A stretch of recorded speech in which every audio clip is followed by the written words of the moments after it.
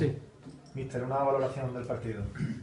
Bueno, mm, yo estoy contento con el, con el partido que ha hecho el equipo, con el resultado, con el trabajo. Yo creo que hemos competido bien, hemos, hecho, hemos salido muy bien al partido desde, desde el minuto uno.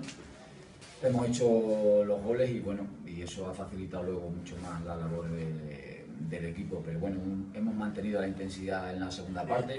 La pena, bueno, que, que esas llegadas que hemos tenido no hayamos hecho un gol más, pero, pero yo estoy contento con el trabajo del equipo y, y el partido. Se han mejorado cosas de semanas anteriores, la semana pasada quizá era un poco la pegada, la falta de gol, en otras quizá no te gustó del todo la actitud, hoy se han mejorado esos dos aspectos por lo menos. Sí, sí. Estos tres, llevamos tres partidos un poco sin. Nos faltaba continuidad en el juego, ¿no?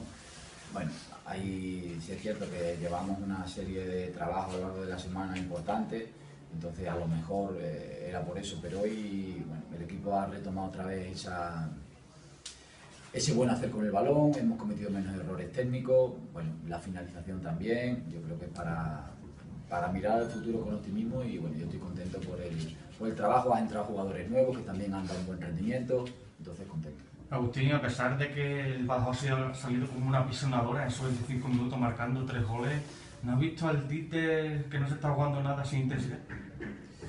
Yo es que eh, me fijo en mi equipo, es que no, no te podría valorar, a lo mejor sería injusto mi valoración sobre el Dieter porque estoy mirando a mi equipo constantemente, entonces bueno, yo supongo que el Dieter habrá salido a intentar ganar el partido, pero yo creo que se ha encontrado un buen Badajoz y bueno, no, no era fácil tampoco, entonces bueno, que Dieter está acabando muy dignamente y bueno, y de aquí mi enhorabuena porque no es fácil en las circunstancias que han sucedido esta temporada acabar tan dignamente como está haciendo.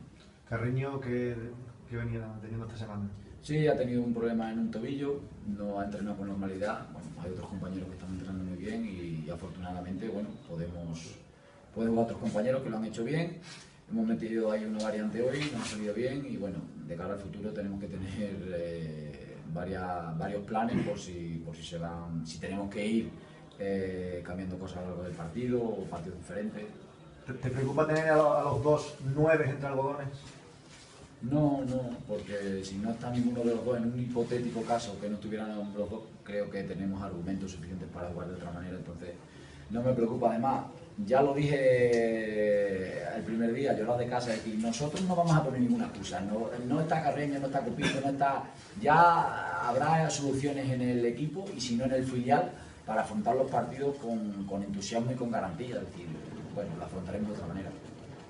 Eh, a pesar de, la diferencia de goles que ya llevaba, te hemos visto en la banda constantemente eh, dando órdenes a tus jugadores, eh, diciendo que, que más, que más, que más, que no bajaran el pistón. ¿Quieres con eso conseguir una buena puesta a punto para esos partidos de playoff? Claro, nuestro objetivo es llegar de la mejor manera posible a, a la fase de ascenso, entonces no podemos regalar ni un minuto, ni un minuto de partido, ni un minuto de entrenamiento, entonces cada minuto lo tenemos que exprimir al máximo. Mi idea era esa, evidentemente, que no, porque a veces con este tipo de resultados tiendes a bajar un poquito el, el nivel y lo que no quería era eso. Vaya partidazo de Corrales que ha metido un paso, ha metido... Sí, la verdad es que Quique está muy bien. Bueno, no, no vamos a descubrir un jugador que tiene ocho temporadas en primera división, entonces yo creo que. Y además hacía tiempo que no jugaba un partido 90 minutos. Ha sabido adaptarse a esos 90 minutos cuando tenía que tirar, cuando tenía que darle un poquito más de pausa. Bueno, yo creo que, insisto, ocho temporadas en primera división no las regalan. También sorprende que Jairo se quede fuera de la, de la lista. Sí, pero Jairo ha tenido también un problema esta semana, una- ha tenido una sobrecarga, tampoco ha entrenado con normalidad, entonces lo que te he dicho, no vamos- primero no vamos a arriesgar y después hay otros compañeros que están entrenando bien, entonces estos partidos hay que afrontarlos al 100%, no podemos andar con, con el freno manchado. ¿Hay mucha diferencia entre quedar segundo o tercero de cara a la eliminatoria del playoff? Eso el lunes del sorteo ya lo veremos. Yo qué sé, no sé, no, no, no sé. Suerte en el sorteo y ya está, y preparar bien las eliminatorias. No sé. ¿Qué esperas de este último partido antes del Polo Nuevo? Bueno, pues que sigamos haciendo las cosas bien, que lleguemos a las mejores condiciones, sobre todo a la fase de ascenso, y que no haya lesiones. Evidentemente que podamos contar con todos eh, para la fase de ascenso es lo que... ¿Puedes hacer un balance de la temporada? No, de la temporada no. Aquí. Te podría hacer un balance de los, Bueno, en el de tiempo los- que has estado de tú. los 15 partidos que llego, pero, pero no, no lo voy a hacer porque esto no se ha acabado todavía. Entonces a mí me gusta hacer los balances cuando haya terminado, entonces ya tranquilamente valoraremos lo que, lo que se ha hecho. ¿Dónde vemos?